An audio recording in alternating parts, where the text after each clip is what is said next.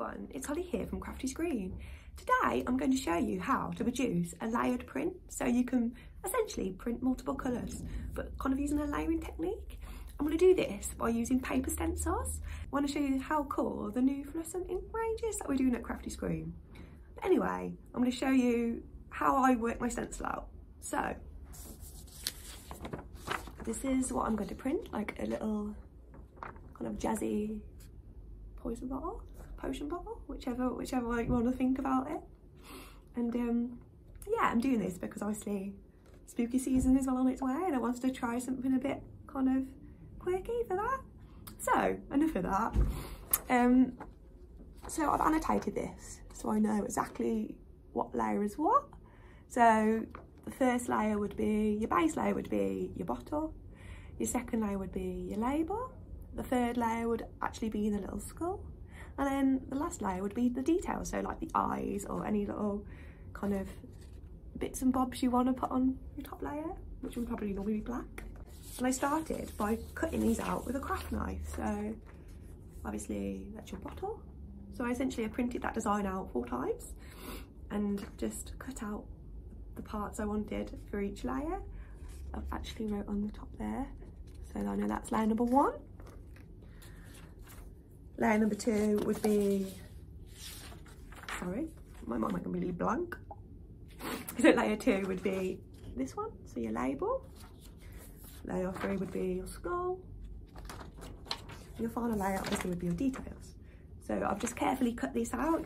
I'd use a craft knife, but you can use scissors or a scalpel or however you want to cut it out. But obviously if you're doing this with kids, always super eyes. Next, I would actually take these to the screen.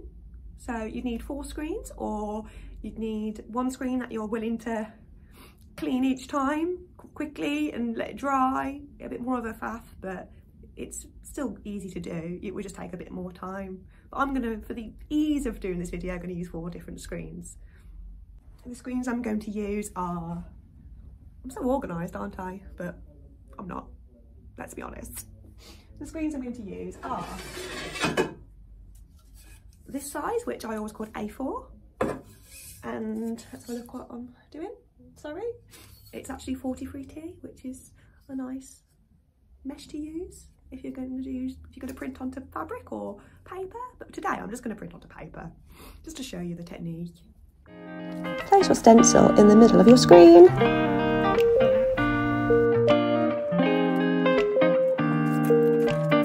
start taping it down, making sure that all of your screen is basically covered in tape. So basically all you've got showing is your print area.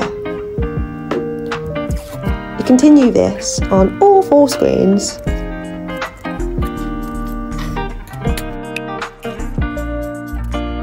your screen in the middle of your paper.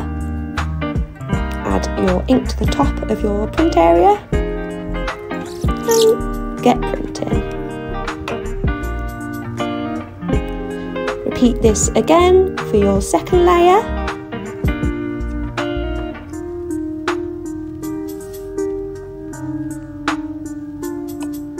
And your third layer.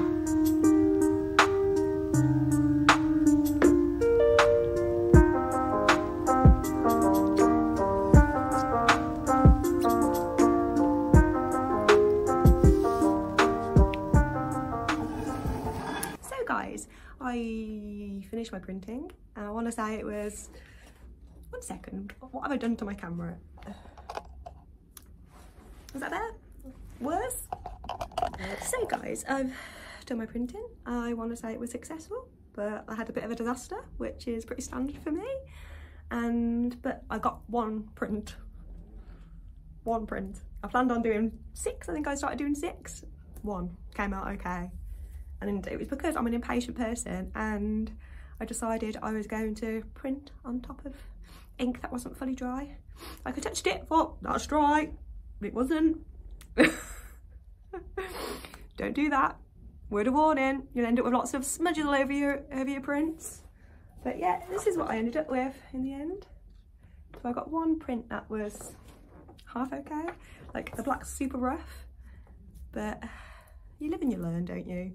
It's one of those things when you do art or crafting, things go wrong sometimes, but I'm relatively happy with what I kind of did. But the main thing is the fluorescent inks are pretty damn cool and I'm a big fan. So I will definitely be printing with these a hell of a lot over the next few months of spooky season being on the way. So yeah, if you liked my video or just thought it was you're just gonna like it out of sympathy because I had such a disaster. I think you should do that. Just like out of sympathy. and I will talk, see you guys next time with another video.